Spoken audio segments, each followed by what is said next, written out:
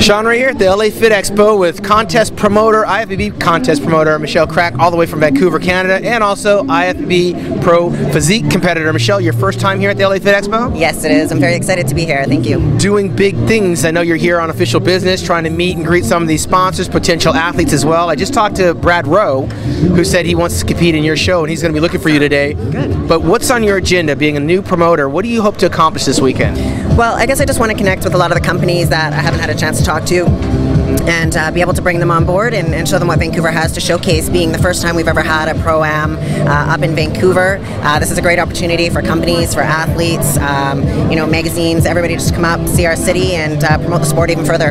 There's certainly a demand for something happening in that region of the world, and you're the one that took up the charge. How is it being received? I know the people up there got to be excited. We're very, very excited. Um, I mean, in the province of BC, we have a huge, huge fitness following, so this is something I think that a lot of people have been wanting for years, and it was just a matter of timing for us. Uh, things just kind of fell into place, and the sport's growing, so it was a good opportunity.